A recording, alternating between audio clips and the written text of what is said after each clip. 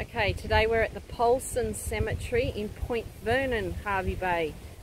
Again, it's very windy, I'm sorry. see how we go. I'm just in this little nook here and it's in memory of our returned servicemen. Just have a little... Yes, John's lost me. I said I was just going to be in this little nook.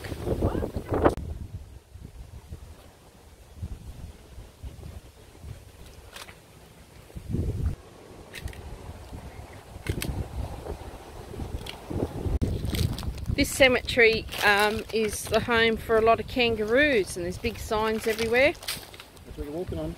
Yeah, I'm being very careful. So we've got a big lawn cemetery on this side. These look quite recent along here. We'll try to find some older older graves, which looks like over there. How pretty is that? They're not old, but pretty.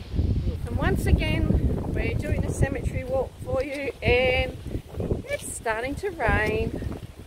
Again, and the sun's out at the same time. But it's coming down heavy, so we're going to just go and sit in the car for a little bit. I think it's, it's not going to blow over. Yeah, I think so. We'll go and have a sit and we'll make our way back out. Stanley Edward Johnson died in March 1st, 1918, aged 2 years, 10 months. Our dear husband and father, Jacob, don't know, died 26th of December 1916.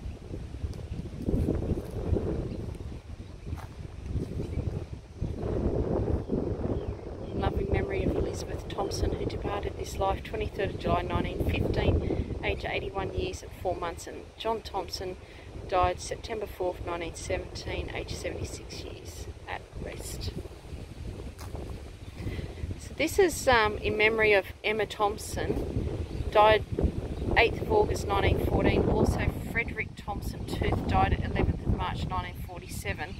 And Charlotte Newman Tooth died 17th of August 1951. Now the street before the street we're on is called Tooth Street.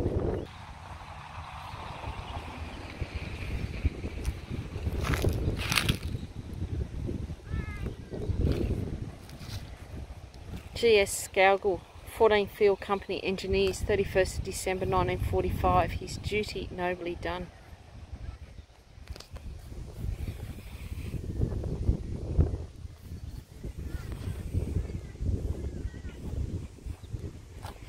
His headstone looks like it's fallen down.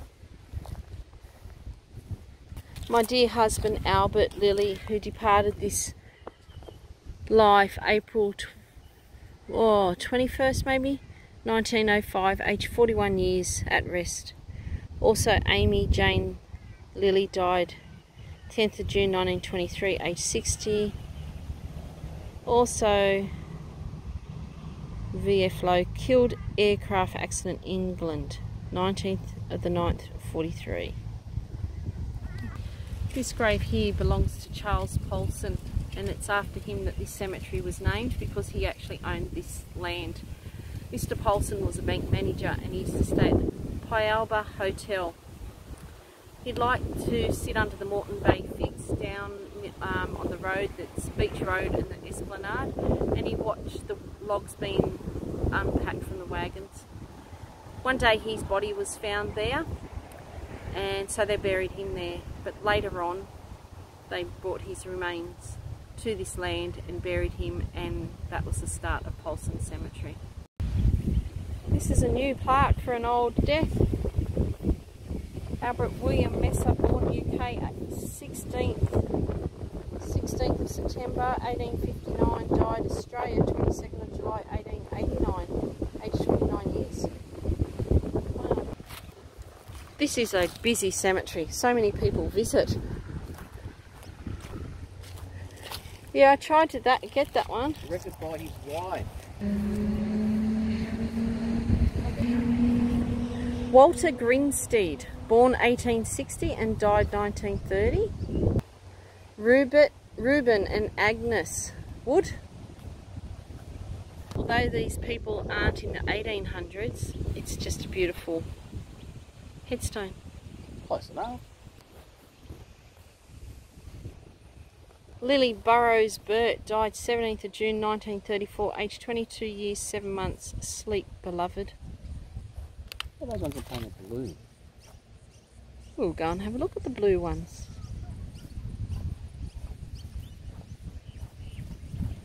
A lot of these headstones have been redone, John. Haven't they? Yeah. I wonder. I wonder who's doing it. If it's a If it's their family or, yeah.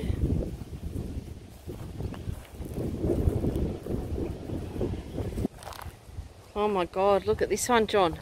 Look at this, but look at the shape of it. shape of. Oh my goodness. Someone's come and stolen the casket out of there. Oh, that's so scary.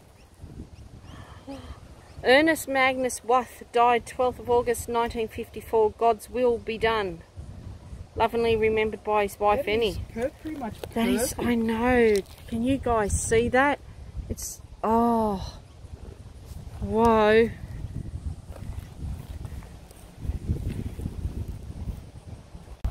John's just fixing the vase up there. Accidentally killed John. 18th of November 1959, aged 22 years. Listen to the poem. You left home with a smiling face, not dreaming death was near, not thinking you would never return to the ones who loved you dear.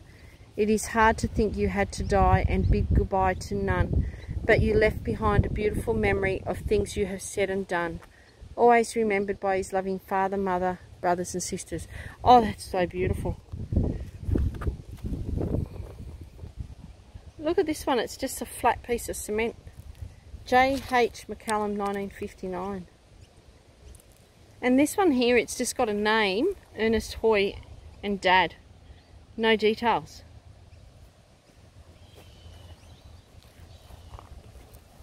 John's noticed that there is so many ex-servicemen um, grave sites here. We'll have a look at those in a minute. Look, same, same, but different. It's all cracked. No, the other one was done with bloody in of a bloody coffin. That's awful. Here's another tooth. So there was a tooth street we went down before. Amy Yeah, tooth. yeah. There. This little one. Oh my goodness. Oh my goodness. Well, there's no details of it though. Wow. Another wall Look one. at this one. It's a it's a ex-serviceman.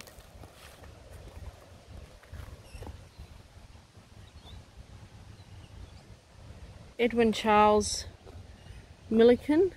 Milligan. There's an ex-serviceman here.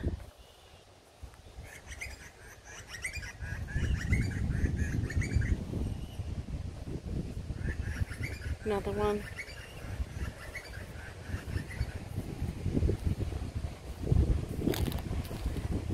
So that one that I just read you your poem of, that was there.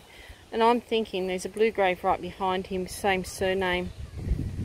Two beautiful people laid to rest. For each of us they did their best. Forever in our hearts. John 11, 26, Jesus said, Whoever lives and believes in me shall never die.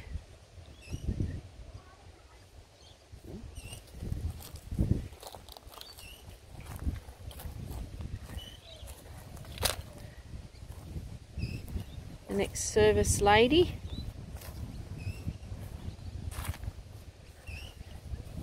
Some of these graves look incredibly old, but they're actually not.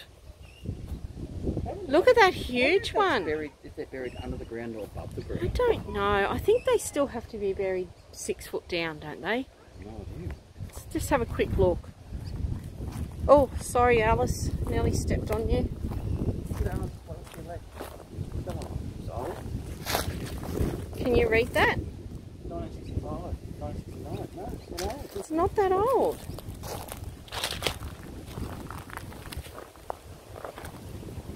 wonder if this one's newy. Born Parmi, Italy, passed away Hervey Bay. Oh, Oh, a lot of children. Oh my goodness me. So walking along here and showing you guys these, it does look like a historic cemetery. However, maybe it's we. Numbers in that one. Pardon? There's three numbers in that one. There's two people in there. There's three numbers. Yeah, however, all these all these grave sites are like in the 50s, the 60s, the 70s, in the 1900s. I'm, uh, yeah. No, it's not. Over here, this section over here is a huge section for a certain, I'm going to say race of people because, and I'm not saying it disrespectfully because it, it is a, it's not a religion I don't think over here. I'll just show you. This memorial was erected by the Hungarian Friendship Club of Fraser Coast. This is the final resting place of many of our members. Dear friends, rest in peace. You'll always be remembered in our hearts. So a lot of these people do have um, foreign names. And I'm presuming that these are Hungarian people. We've got one here though, Thomas O'Hagan, died 6th of July 1887, aged 41 years. So scattered throughout, there is older graves, isn't there? Yeah. You've just got to find them. very few. See, I'm thinking all these people, most of these are Hungarian, John. With the names. And the, the fanciness of their grave sites. But here's another few older ones up there. We think they're older ones. David Goff died 13th of the 9th, 1925. So it's still not old, old. 1947 and 1929. Where are you looking? Okay, John's just spotted another one. Look at this fancy one with the boulder.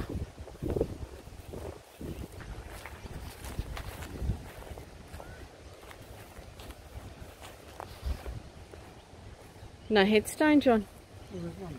Oh, can you read it? It's 1952. It says daughter. Hmm.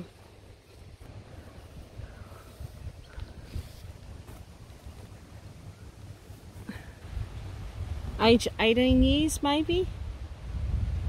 19.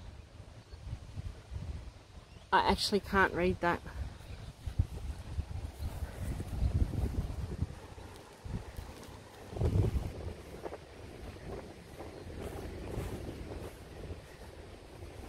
Nineteen oh five.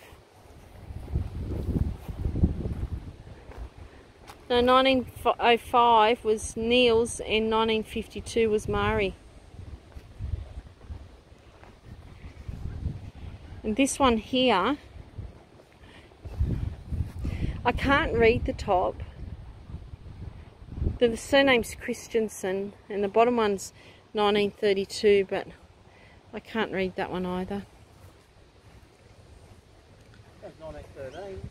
Headstone. New headstone. See this one here? Brand new headstone.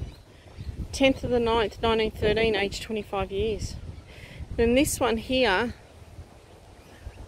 another 1930, 13, who fell asleep at Pialba August 18, 1913 in her third, third year? No, 73rd year. And Augustus was 1928, 81 years. 1861.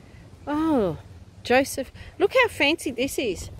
Born 27th of December 1861 and died 29th of December 1938. Big lawn cemetery here. I don't know if you can see that. See over here?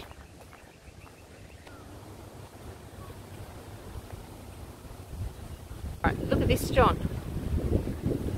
And it says, to the memory of all South Sea Islanders brought to Queensland as conscript labourers to work in cotton and sugarcane fields 1863 to 1906, may their toil be not forgotten. And there's just a plaque with all their names here and all the different islands. A total of 26 graves. South Sea Islander graves. So there's a massive lawn cemetery up there. There's some unmarked graves down here.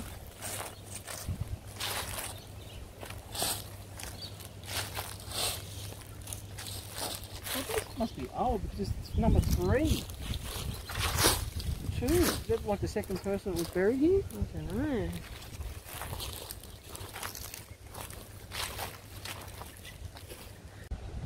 How unusual is this? Burned to death. Who? I'll just show this. Oh look, accidentally killed.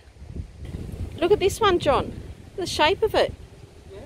In loving memory of Jeffrey Lloyd Lowry, accidentally killed November 5th, 1961, aged 18 years. His memory is a keepsake. Tis like a thread of gold, never will it tarnish nor grow the least bit old. And then this one. Did you see that? Yep. Is there a headstone or something? Didn't see the front of it. Oh, you can't read it. Oh, same surname as that one behind. I thought it might have been. Kenneth James Lowry, accidentally killed and sadly missed. 1945. So this one was accidentally killed, and so was this one. That one over there too. You've got another one. Burned to death. Burned to death. Which one?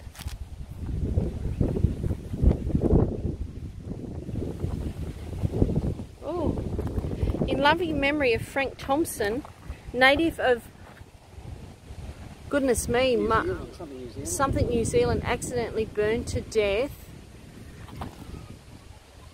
Can't see because the sun's there. 1921, I, I'm not really sure. A couple of beers for Mark. In loving memory of Mary, beloved daughter of Six months old. K.M. Cla- Clarson, who died April the 5th, 1917, aged six months old, an angel at the throne of God. Oh, can you see that? It's actually a little teddy bear. Just gone old and mouldy over time. In loving memory of Sarah Jane, beloved wife of John McLiver.